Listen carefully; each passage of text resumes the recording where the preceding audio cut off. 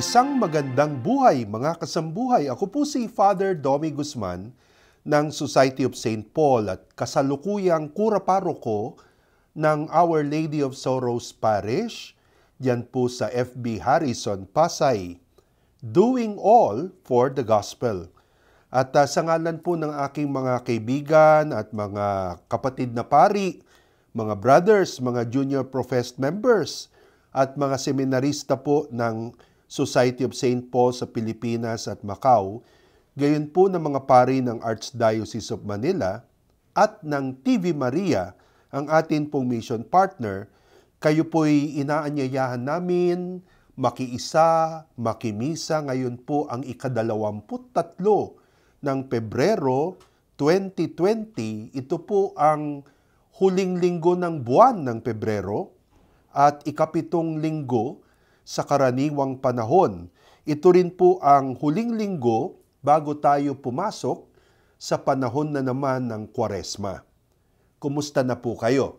Siyempre po, atin pong nais na ipanalangin ang atin pong mga kasamahan, mga kasambuhay, yung mga homebound na mga may sakit, lalo-lalo na po yung mga elderly at yung mga cancer patients, yung inyo pong mga caregivers, at gayon din po, ang ating mga persons on duty, mga pulis, sundalo, doktor, mga health workers sa mga emergency rooms, and ang atin pong mga OFWs. Binabati rin po natin ang ating Canada-based na mga mission partners, ang grupo po ni Brother Alex Pideris, kasama po riyan si Dorothy Santos Merck, Annie Adorna, Emily at Dante Reyes, Joy at Alex Reyes, Dr. Joe Adorna Guzman, at Alicia Adorna, at ang kani-kanilang mga pamilya. Gayon din po, we would like to pray and greet si Leslie Masigan at ang kanyang pamilya, no? si Miguel, si Jake, si Sammy, si Tony at Lourdes Chowa, si Ed at Norma Arojado, si George at Noemi Villarus ng Villarus and Villarus CPAs, gayon din po si Didith at Joey Jacob, si Mariel Diaz ng Standard Marketing and Trading, ang kusina ni Kambal, ni Irma at ni Delio San Miguel, dyan po sa Marikina, si Corazon Ochoa at Rosita Kauyan, dyan naman po sa Discovery Bay sa Hong Kong, sana ay you are doing well, ha? Si Alma Gonzales na lately po ay dumalaw at uh, nag-birthday po, ano? At uh, maraming salamat sa inyong love offering.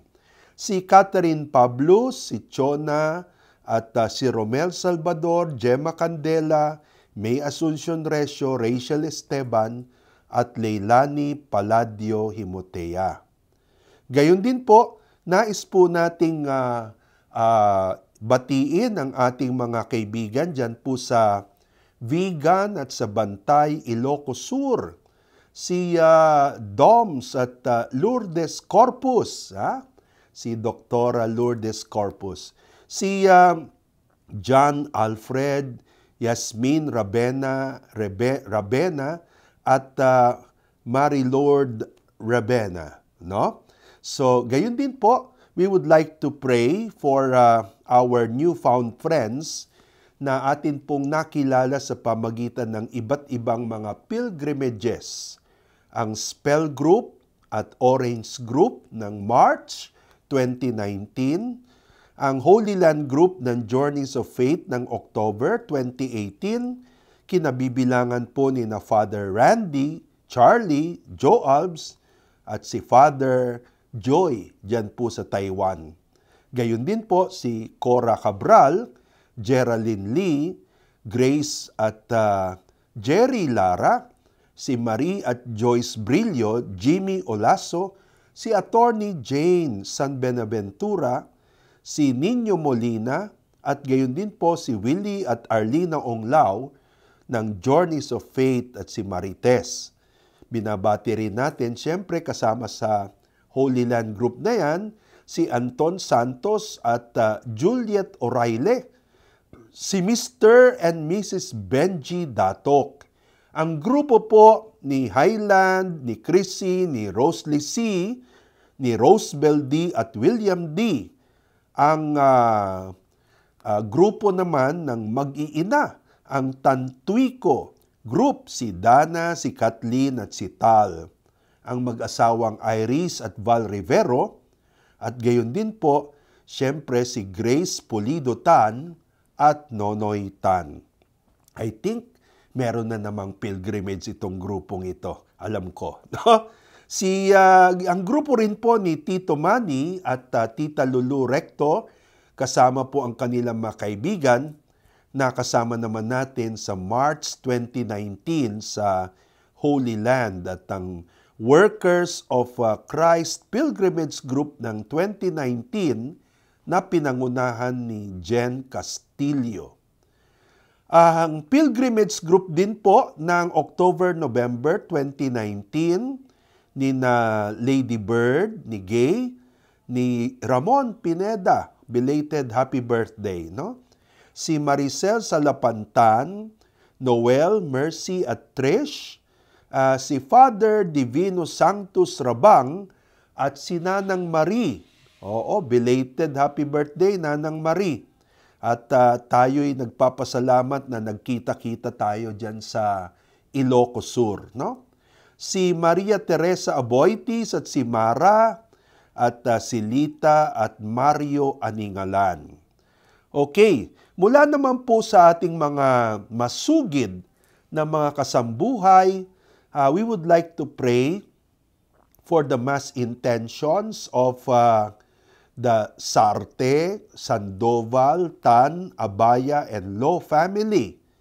Gayon din po for the eternal repose of Buen Consejo, Edward Sarte, Manuel Jr., and Felix, and Carmelita, and Amelia, Anthony, and all the souls in purgatory. Intentions din po ni Gemma Candela at Jeffrey Porcalio Binabati rin natin at ipinapanalangin po natin ang crew at officers po ng MV Andromeda. Pinangungunahan po ni Captain Ronald de los Reyes. And then, ang intentions din po uh, ni Rose Ralyeka Dudwako. No? Maraming salamat sa inyo pong uh, love offering And we would like to pray for uh, Mr. Lee Ngay Him and for the mother of Rose, si Mamerta Dudwako, and uh, also uh, for the son, si Mark Angelo Saavedra. And then, si MC Cardo, nais din niyang ipanalangin po natin ang mother niya na si Melina, Merlina, at ang dad niya na si Cristeto. Si Froilan Labaro, uh, Protection and Good Health ni Shoni Bea James Paul at Froilan Labaro. Intentions din po ni Mayan CM. Si Lourdes Saraco, nais yang ipanalangin natin ang kanya pong mga intentions, especially for hope and for a stable job. Si Kat Sandolan would like us to pray for the thanksgiving of the family and the intentions of the birthday of Kath, Crosby, Christine, and Amil. For the prayers also of the eternal repose of the souls, no? Uh, ng lahat ng nasa purgatory. And then, of course, uh, we'd like to pray for uh, the intentions of Pilars Chocolato for thanksgiving, healing, and forgiveness, and for the eternal repose of uh, Hector, Pilar, Florentino, Mirna, Raul, Father Nene, Father Fernando, Salvacion, Pasencio, and ito namang si Semi Reyes Rosales, gusto niya pong ipanalangin natin ang kanyang anak na si Roland Sheen, uh, isang seafarer, no? For good health. And uh, gayon din po uh, for uh, the civil exam no in this coming March. And then si Patria Kunanan for the personal intentions and thanksgiving, especially for the healing of Clotilde Angkau.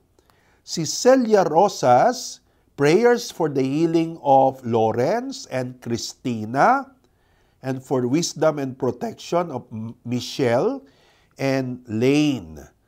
Si Mayet Dadule Galicia, prayers for the soul of Berong La Chica, Jenny Garcia, and all the departed relatives. At si Maylin Colasito, uh, healing naman po ni Emeline Caballes Bidon, Danilo Herrera, Vance Mercado, Jeanette Pinulan Orculio. Si Beck Moso de Ramos, mas intentions for guidance and protection of Clarice, Karen, Pamela, Angeli- Angelica, Ashley, and Bennett. Yan.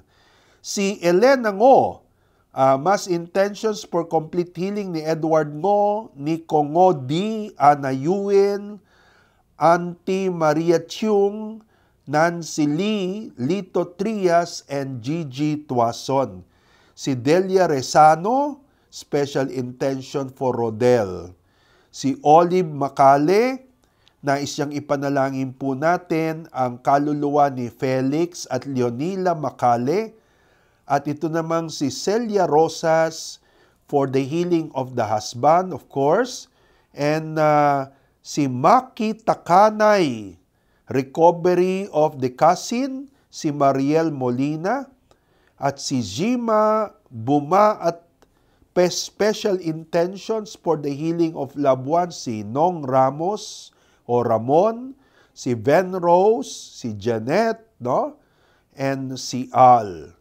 At uh, si MB Domenica, meron din po siya mga intentions dito, uh, for the healing of April Joy Hernandez, Nanay Carolina, Christopher Moral, and all the sick members of the family. And uh, si Belen Bruso Regalado. Yan. Healing of daughter Bianca who is suffering from hydrocephalus. Si Malu Gonzales Remedio for the souls of Gregoria, Lucy Gonzales, Josephine Gamo, Mel Espejo, Eric Ferreros, Belen Ferreros, at Joseph Manois. Yan. Ito nang po si uh, uh, Maria Luisa Remedio Figueroa na isang ipanalangin natin ang kaluluwa ni Eduardo at uh, Gayon din lahat ng dead relatives and friends. And of course, we would like to greet and to pray for the intentions of Dr. Rico Martin and Axel Gerochi and Dr. Aisel Jade Tan of Gerochi Dental and Implant Center dyan po sa Montivar Building, Jupiter, Makati.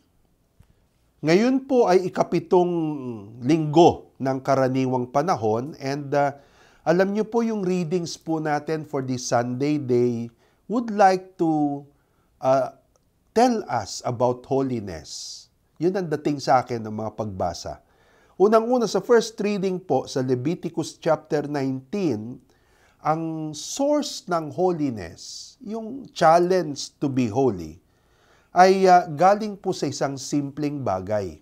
And it is because we are made in the image and the likeness of the Lord.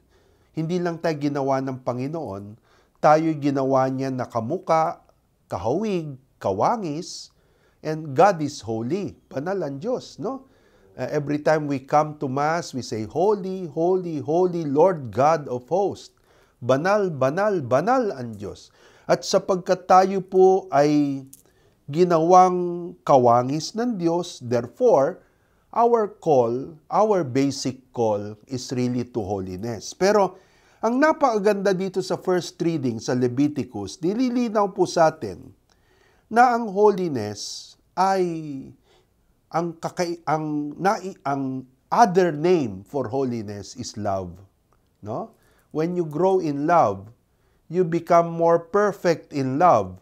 You become more like God because God is love, and therefore, you become holy as God is holy. Oh, ganun po yung connection, ano? And uh, sa second reading naman natin, ang challenge po ng second reading natin, dapat yung holiness hindi lang panlabas.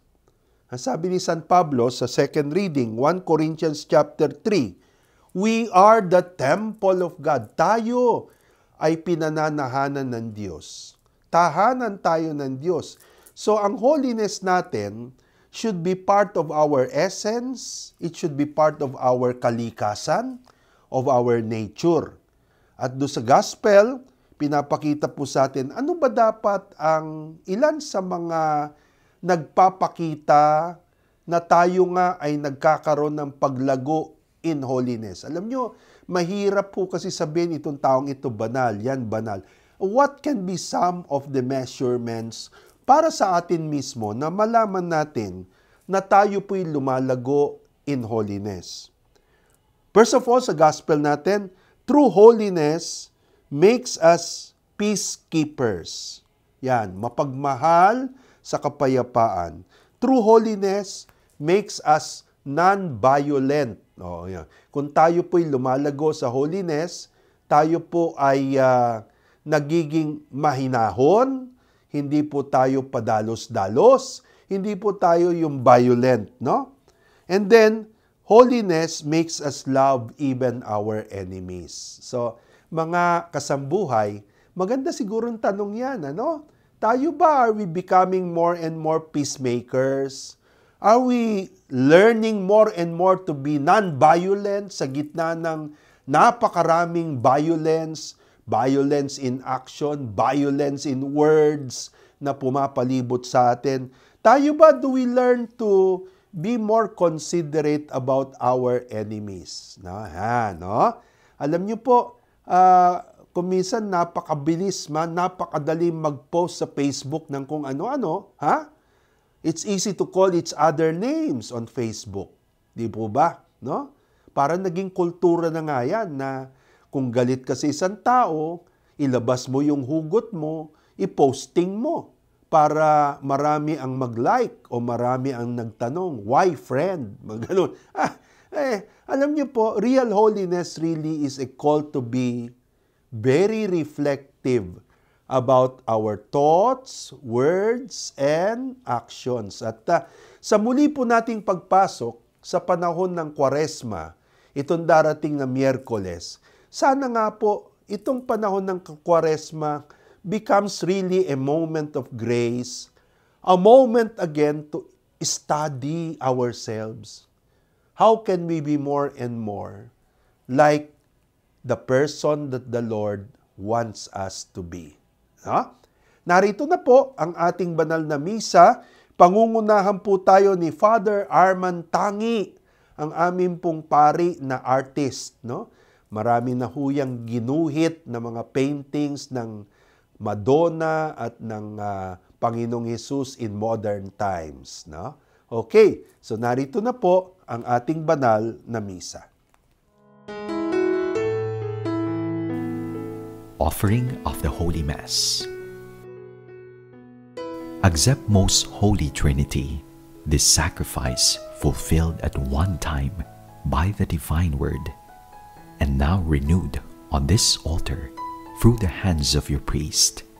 I unite myself to the intentions of Jesus Christ, priest and victim, that I may be entirely offered for your glory and for the salvation of all people. Through Jesus Christ, with Jesus Christ, and in Jesus Christ, I intend to adore your eternal majesty, to thank your immense goodness, to satisfy your offended justice, and to beseech your mercy for the church, for my dear ones, and for myself. Amen.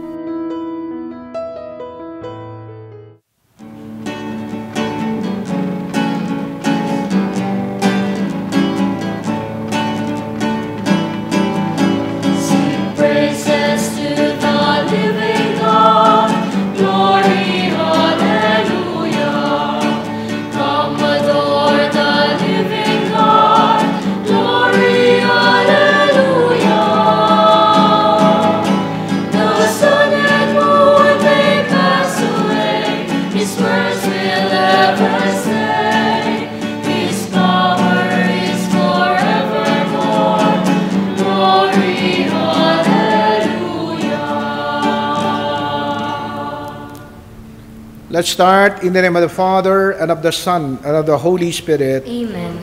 The Lord be with you. And with your spirit. Jesus tells us today that as God's children, we have to imitate His love, which does not limit itself to good people.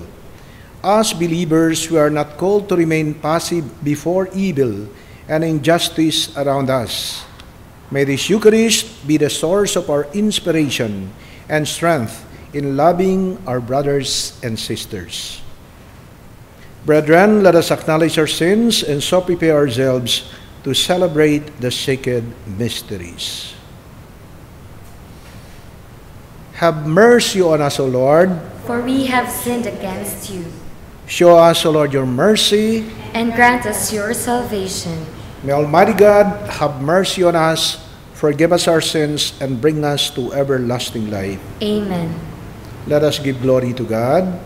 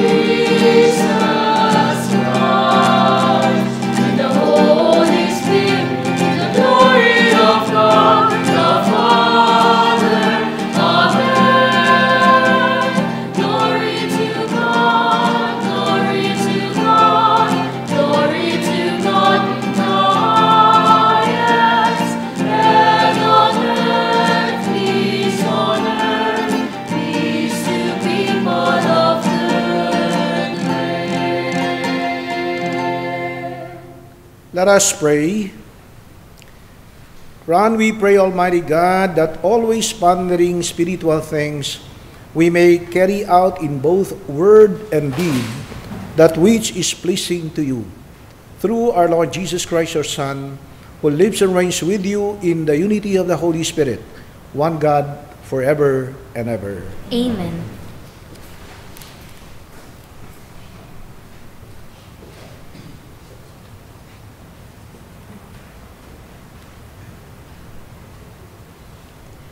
A reading from the book of Leviticus. The Lord said to Moses, Speak to the whole Israelite community and tell them, Be holy, for I, the Lord your God, am holy.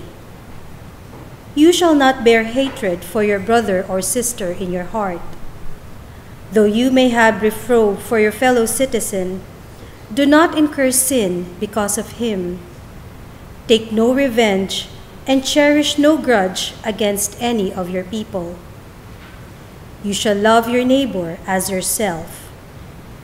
I am the Lord. The word of the Lord. Thanks be to God. The Lord is kind and merciful. The Lord is kind and merciful. Bless the Lord, O my soul, and all my being, bless his holy name. Bless the Lord, O my soul, and forget not all his benefits. The Lord is kind and merciful. He pardons all your iniquities, heals all your ills. He redeems your life from destruction, crowns you with kindness and compassion. The Lord is kind and merciful.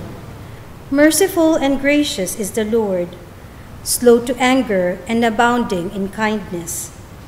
Not according to our sins does he deal with us, nor does he requite us according to our crimes. The Lord is kind and merciful.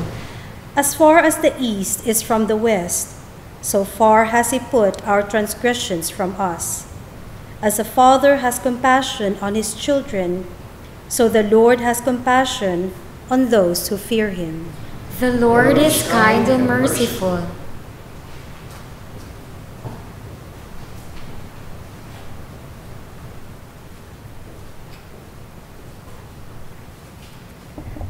A reading from the first letter of St. Paul to the Corinthians.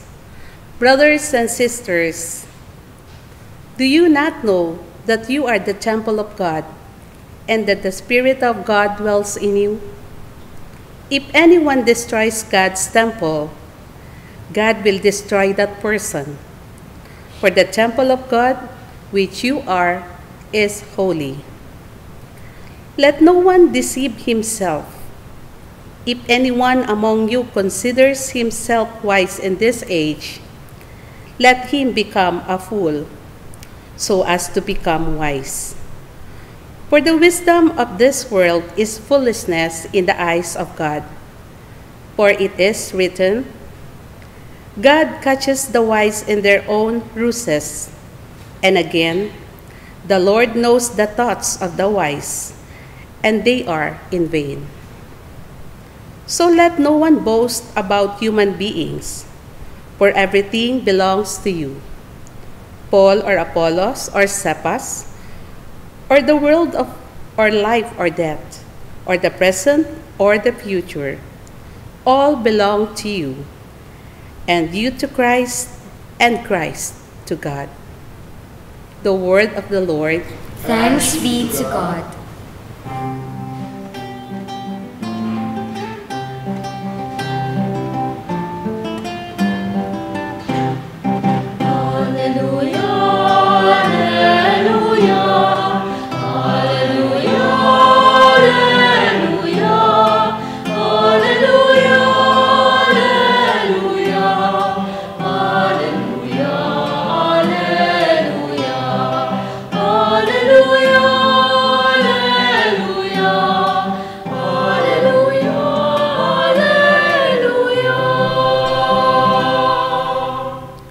Lord be with you. And with your spirit.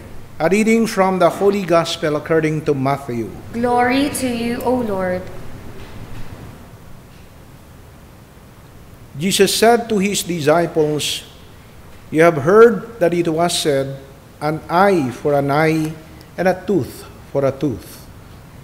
But I say to you, offer no resistance to one who is evil. When someone strikes you on your right cheek, turn the other one as well. If anyone's to go to law with you over your tunic, hand over your cloak as well. Should anyone press you into service for one mile, go for two miles. Give to the one who asks of you, and do not turn your back on one who wants to borrow. You have heard it, it was said, You shall love your neighbor and hate your enemy. But I say to you, love your enemies and pray for those who persecute you, that you may be children of your heavenly Father, for he makes his sun rise on the bad and on the good, and causes rain to fall on the just and the unjust. For if you have loved those who love you, what recompense will you have? Do not the tax collectors do the same? And if you greet your brothers only, what is unusual about that? Do not the pagans do the same? So be perfect, just as your heavenly Father is perfect. My dear brothers and sisters, the gospel of the Lord. Praise to Lord Jesus Christ. Hindi pwedeng ituwid ang pagkakamali ng isa pang pagkakamali. Ito ay lalong magiging mali at walang katapusang pagkakamali.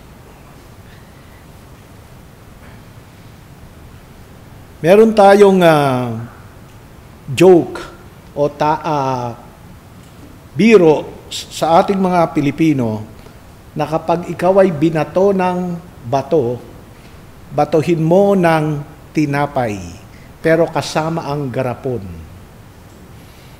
Ang katwiran, hindi tayo dapat palangan, palamang. Bakit ka palalamang? Gantihan mo para patas ang laban. Pero sabi ko nga, hindi pwedeng ituwid ang pagkakamali ng isa pang pagkakamali dahil ito ay lalong magiging mali. Isa sa mga text messages na natanggap ko na hindi ko napigilang mapatawa ay ito. Ganito ang sinabi, Of all my friends, ikaw ang pinakakakaiba. One of a kind. Talagang ah, unique class by yourself. Kasi lahat ng kaibigan ko ay normal. Kung susundin natin ang turo sa Ebanghelyo sa, na ating narinig, hindi tayo normal. Kung tutuusin, lugi, tanga, baliw. Kaya, hindi nakakapagtaka kung kakaunti ang sumusunod kay Kristo sa kanyang mga aral. Kaya, kakaunti rin ang kanyang mga kaibigan. Dahil kinakailangang sumunod sa aral na itinuturo niya na alam natin na mahirap gawin. Kung sasabihin sa inyo ng iba na mahalin mo ang iyong kaaway, ipagdasal mo ang tumutulig sa sayo, siguro sasabihin mo, tama bang narinig ko? Kung tama, sira ang ulo niya, masasabi natin. Paano mo mamahalin ang pumatay sa iyong kapatid? Ang gumahasa sa anak mo? Ang lumustay ng pera at yung kabuhayan dahil sa bisyo?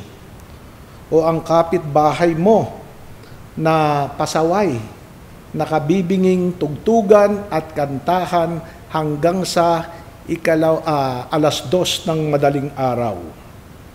Paano ipagdadasal ang taong naninira sa iyo? Gumagawa ng chismis na hindi totoo. Pero ito talaga ang itinuturo ni Kristo na gawin natin sa ating kapwa. Lahat ng ito mahirap gawin at isabuhay. Pero nung sinabi ng Panginoon na mahalin mo ang iyong kaaway at mahalin ang iyong kapwa-tao, practically, yung kapwa-tao mo at yung kaaway mo ay iisa. Kaya, kinakailangan ng grasya at tulong ng Panginoon para masunod natin ang kanyang hinihiling at gustong gawin sa ating buhay. Ang pagpapatawad ay sabi ko nga ay hindi madaling gawin. Ang gumante or to get even o para magpatas ay kalimitang sagot o kultura sa buong mundo ng mga tao. Mata sa mata, ngipin sa ngipin. Pero sabi nga ng charismatic leader na si Mahatma Gandhi, if we live by an eye to an eye kind of justice, marahil ang lahat ng tao sa mundo ay bulag ngayon. Walang mananalo sa gantihan kung ito ang ating gagawin. It doesn't mean we will condone the crime or evil. Ang halimbawa ay si John Paul II na nagbigay sa atin ng kaliwanagan ng sagot. Matapos mapagaling sa sugat na nilikha ng pagkakabaril ng isang Turkish assassin, binisita niya sa kulungan at pinarating niya ng kanyang pagpapatawad ay ginagawa niya sa gumawa ng krimen sa kanya. Pero kahit na siya pinatawad, nananatili siyang nakakulong para pagbayaran ang kanyang krimen na ginawa. So, posible na magpatawad at magbahal ng kaaway, pe- pero pagdurusahan pa rin niya ang ginawa niyang kasalanan. Sa ibanghelyo natin ngayon, sa palagay ko, tatlong bagay tungkol sa pagpapatawad ang itinuturo ng Panginoon sa atin. Una, forgiveness is a must. Kinakailangan. Hindi tayo binigyan ng choice o pagpipili na pwede kang magpatawad o hindi ka pwedeng magpatawad. Kinakailangan kang magpatawad dahil ang Diyos ay Diyos ng pagpapatawad at bilang mga anak ng Diyos, kinakailangan nating magpatawad, gustuhin man natin o hindi. Pangalawang itinuturo sa ating ng Panginoon sa ating ebanghelyo ngayon ay ang pagpapatawad ay walang katapusan. Hindi nagbibilang. Maraming pagkakataon na nainkwentro ko ang mga tao na sa say, Father, ilang beses ko na yung pinatawad pero sa ngayon hindi na. Sobra-sobra na ang pagpapatawad ko. Kaya hindi ko na siya mapapatawad. Sabi nga ng Panginoon, kung paano natin tinatrato ang ating kapwa, ganon din itatrata, itatrato tayo lalong lana na may, kung may kinalaman sa pagpapatawad ng ating kapwa. Sa Old Testament, you can only forgive three times. Tatlong beses. Pero si San Pedro, gustong magpa-impress sa Panginoon at ang sabi niya, seven times. Pero sabi ng Panginoon, short ka pa rin. You have to forgive 70 times 7 times. Ibig sabihin, walang katapusan. Hindi nagbibilang at kinakailangang magpatawad sa kapwa na nakagawa ng kasalanan. Pangatlo, ang tunay na pagpapatawad ay buong buo o total. Hindi pwedeng at hindi na kinakailangang halongkatin pa yung mga kasalanan na nagawa matapos patawarin. Sabi nga, forgive and forget. Kasi madaling magpatawad, pero yung kalimutan yung ginawa ng isang tao, doon tayo nahihirapan. Pero kung tunay na pagpapatawad ang gagawin natin, kinakailangan nating kalimutan upang magsimula ng bagong buhay. Uh, sa aking karanasan, this is a very uh, common experience, lalong-lalo na dun sa mga husband and wife, no? Yung yung may friendships o yung may mga mga tao na may karelasyon. Kasi sinasabi na ang mga babae daw, yung asawang babae, hindi lang hysterical, kundi historical, no?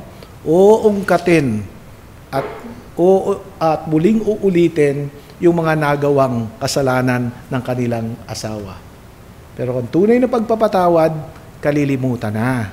Naalala ko tuloy yung ah, tinanong ko yung aking kaibigang babae na nagpatawad sa kasalanan ng kanyang ng kanyang asawang lalaki at ang sabi ko akala ko ba pinatawad mo na yung asawa mo bakit ulit-ulit mo pang inuungkat yung kanyang nagawang kasalanan noong nakaraan sabi niya oo father pinatawad ko na siya pero kaya ko inuulit para maalala niya na pinatawad ko na siya ang punto pag nagpatawad kalilimutan upang magsimula ng bagong buhay. Sabi nga, ang Kristyanismo ay hindi madali. Christianity is not an easy religion. It wasn't meant to be. Pero kung mahal natin ang Panginoon, handa tayo dapat magsakripisyo. Dahil ang pagmamahal, kaakibat, lagi ang sakripisyo. It entails sacrifice. Kung may magsasabi sa inyo na mahal kita, pero hindi handa na magsakripisyo para sa inyo, peke at hindi tunay ang pagmamahal. Dahil kung may sakripisyo, may pagmamahal. At kung may pagmamahal, andon ang Diyos. Amen.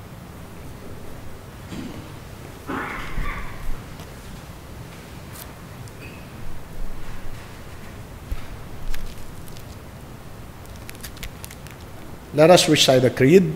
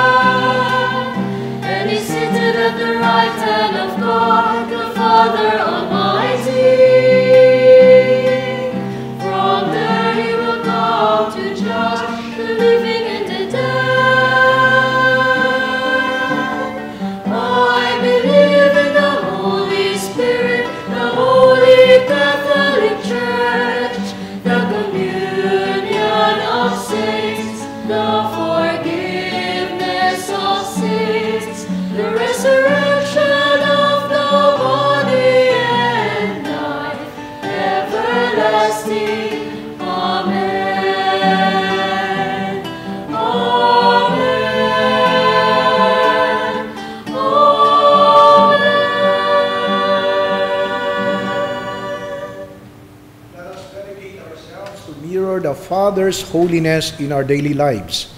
Let us ask the Lord for the courage to live up to the challenge of the gospel as we say, Hear the prayer of your people, Lord. Hear the prayer of your people, Lord. that nations torn by war and violence may settle their conflicts through dialogue and peaceful negotiation. We pray Hear the prayer of your people, Lord. that warring factions among our people may realize that violence begets more violence, while reconciliation ushers in peace and hope. We pray Hear the prayer of your people, Lord. that oppressors and violent people may open their eyes to see that the love of God is an invitation for them to reform their lives, we pray. Hear the prayer of your people, Lord. That those who work for the cause of peace may be given strength and perseverance in their difficult mission, we pray. Hear the prayer of your people, Lord. Let us pray for the urgent concerns of our community and our personal intentions. We pray. Hear the prayer of your people, Lord. May our prayers, O loving Father, help us to persevere to live a holy life through our sincere service to our brothers and sisters. We ask this through Christ our Lord. Amen.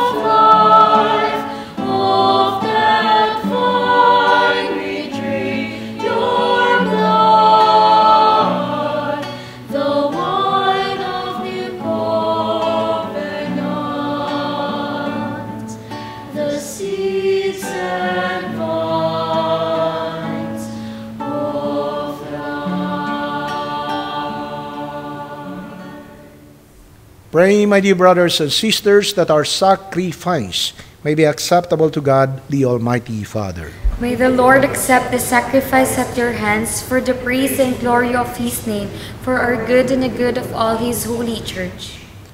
As we celebrate your mysteries, O Lord, with the observance that is your due, we humbly ask you that what we offer to the honor of your majesty may profit us for salvation through Christ our Lord. Amen. The Lord be with you. And with your spirit, Lift up your hearts. we lift them up to the Lord. Let us give thanks to the Lord our God. It is right and just. It is truly right and just, our duty and our salvation, always and everywhere to give you thanks, Lord, Holy Father, Almighty and eternal God, through Christ our Lord. For through his paschal mystery, he accomplished the marvelous deed by which he has freed us from the yoke of sin and death, summoning us to the glory of being now called a chosen race, a royal priesthood, a holy nation, a people for your own possession, to proclaim everywhere your mighty works. For you have called us out of darkness into your own wonderful light. And so with angels and archangels, with thrones and dominions, and with all the hosts and powers of heaven, we sing the hymn of your glory as without end we acclaim.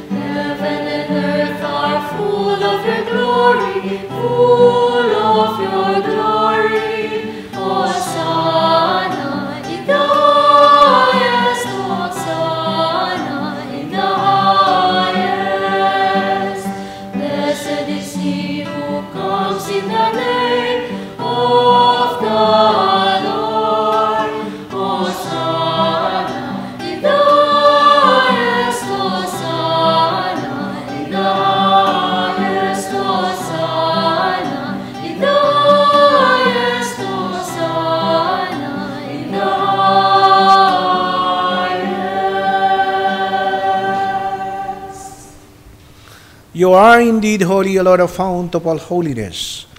Make holy, therefore, the scripture, we pray, by sending down your Spirit upon them like a dewfall, so that they may become for us the body and blood of our Lord Jesus Christ. At the time he was betrayed and entered willingly into his passion, he took bread and giving thanks, broke it, gave it to his disciples, saying, Take this, all of you, and eat of it. For this is my body, which will be given up for you.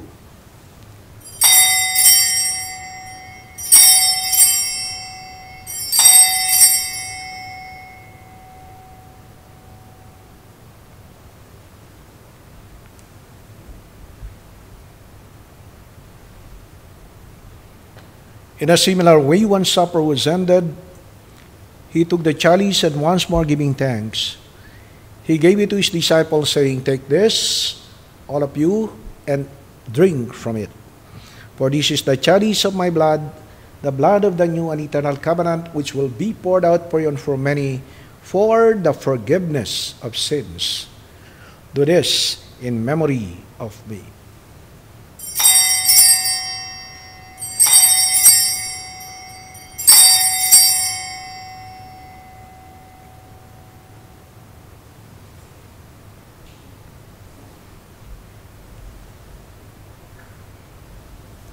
The mystery of faith.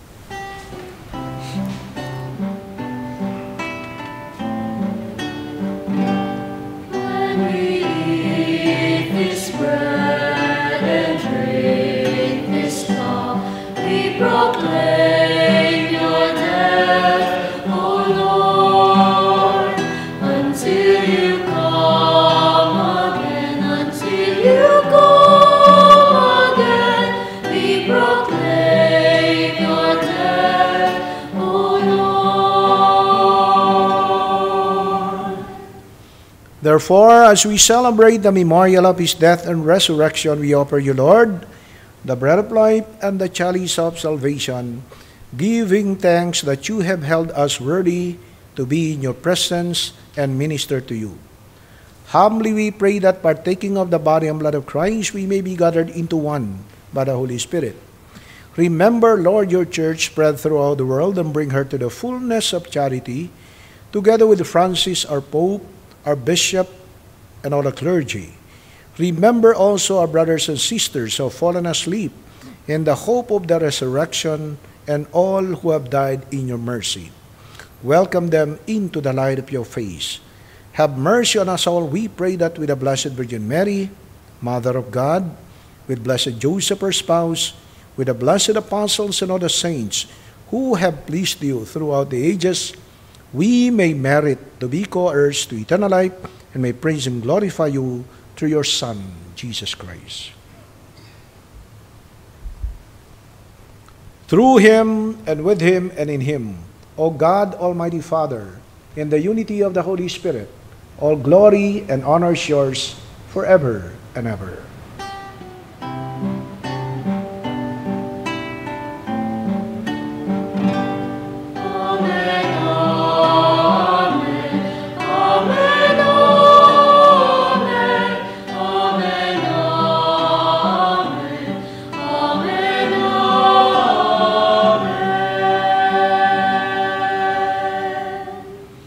The Savior's command and formed by divine teaching, we dare to say the Our Father.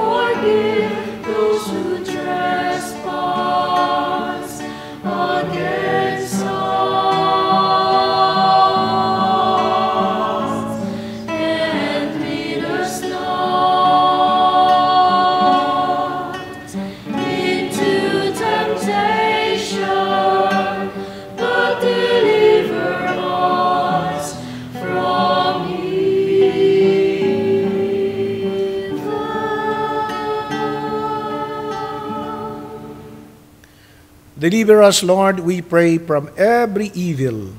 Graciously grant peace in our days, that by the help of your mercy we may be always free from sin and safe from all distress, as we await the blessed hope and the coming of our Savior, Jesus Christ. For the kingdom, the power, and the glory are yours, now and forever.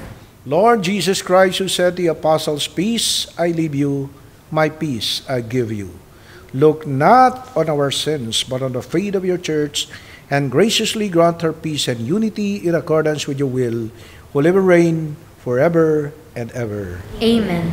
The peace of the Lord be with you always. And with your spirit. Let us now, now offer each other the sign of peace. Peace be with you. Peace be with you. Peace be with you. Peace be with you. Peace be with you.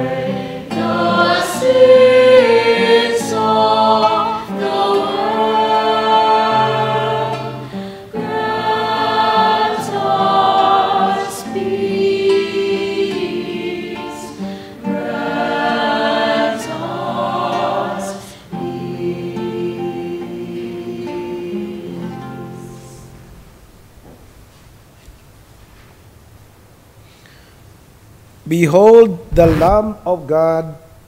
Behold him who takes away the sins of the world. Blessed are those called to the supper of the Lamb.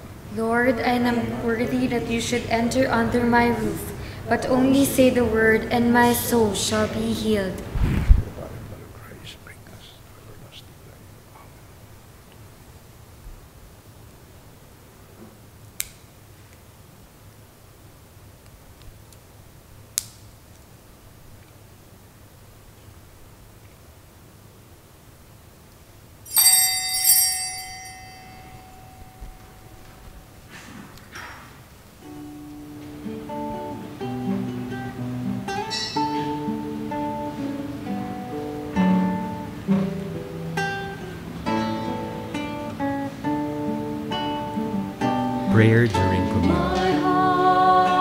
For those who cannot receive communion, join us in prayer the spiritual communion. Jesus, Master, you assure me, I am the life. Whoever eats my flesh and drinks my blood will have eternal life. In baptism and in the sacrament of reconciliation, you have communicated to me this life of yours. Now you nourish it by making yourself my food. Take my heart, detach it from the vain things of the world. With all my heart, I love you above all things because you are infinite good and eternal happiness. Amen. Prayer of Overseas Workers. Saint Michael the Archangel, I'm about to leave my family, and the physical and emotional distance affect me. The physical distance means I will be living in a totally different culture where everything will be new. The emotional distance implies that no longer will I be able to embrace my loved ones when I want to. You have done special mission for God, and you did it confidently, trusting that everything will be all right because our Creator has everything in His hands. Share with me the same faith. Make this travel a part of my mission here on earth. I have to leave for the good of my family and loved ones. I have to leave to do God's will. While I am away from them, protect them from dangers. Let them feel my presence through my letters and calls. Make us a strong family, even though we are far from one another. Saint Michael, through your intercession, may Jesus be the light of the family, and may Mary be our mother too.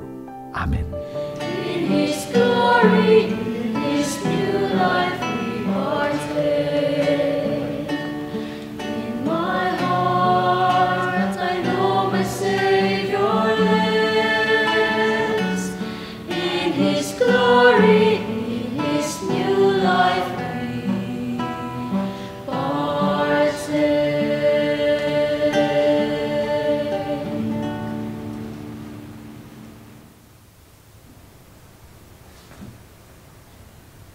Let us pray.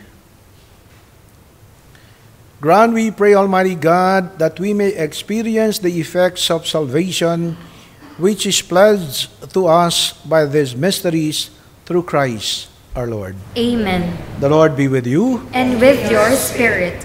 Bow down for the blessing. May Almighty God always keep every adversity far from you, and in His kindness pour out upon your gifts the gifts of His blessing. Amen. May God keep you, your hearts with attentive to His words, that they may be filled with everlasting gladness. Amen.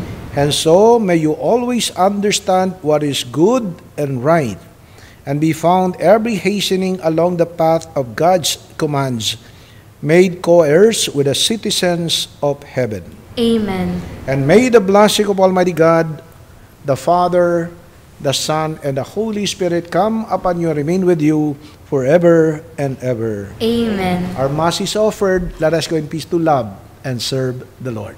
Thanks be to God.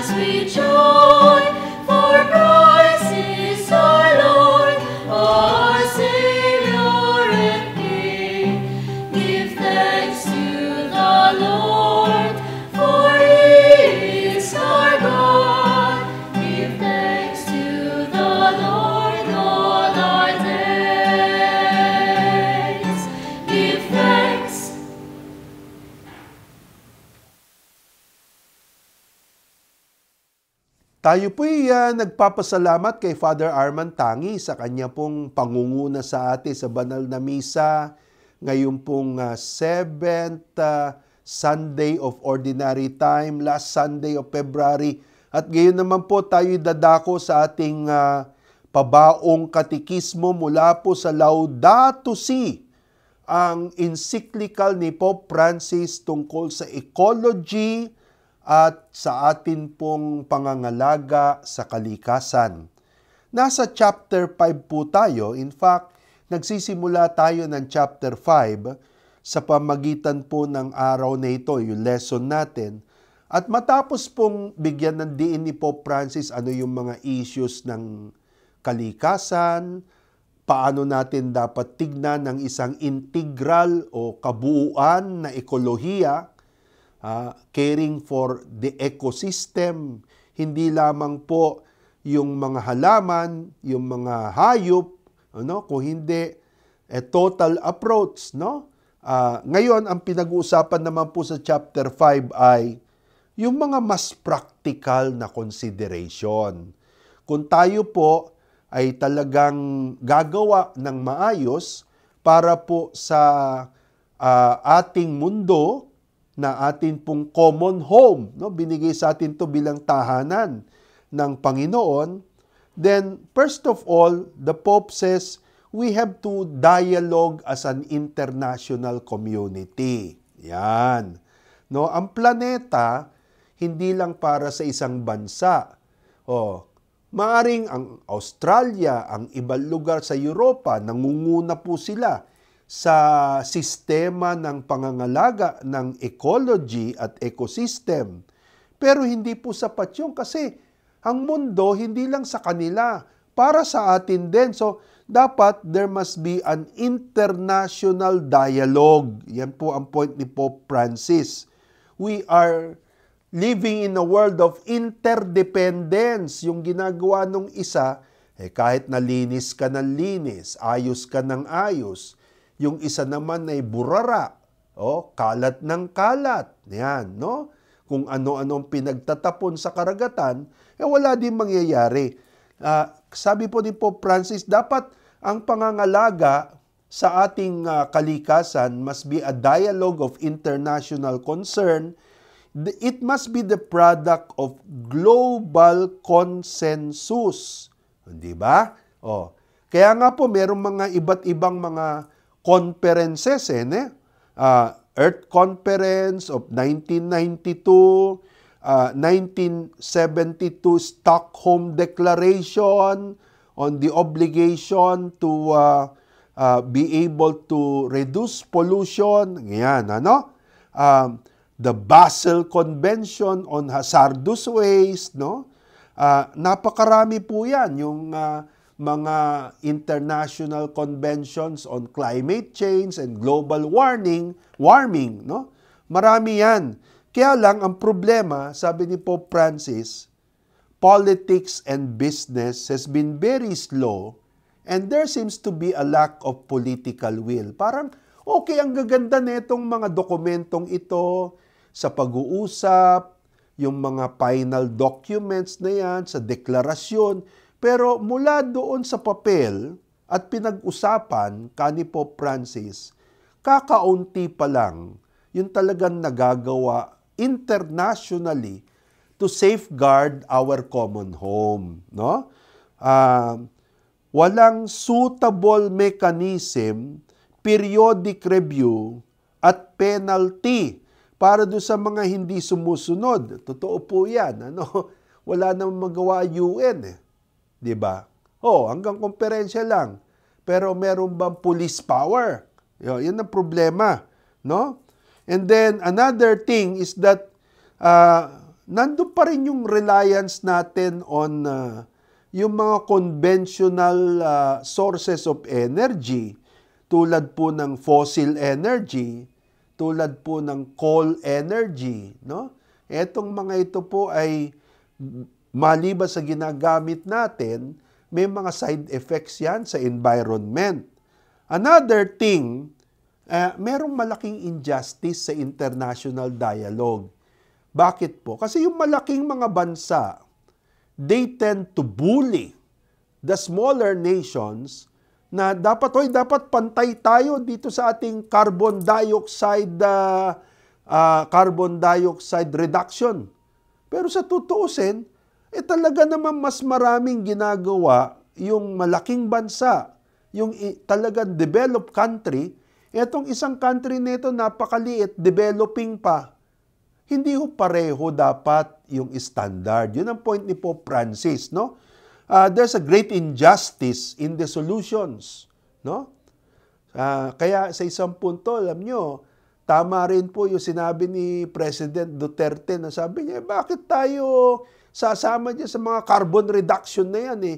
Ilang porsyento lang ba sa atin eh, yung sa ibang bansa tulad ng China, tulad ng Amerika?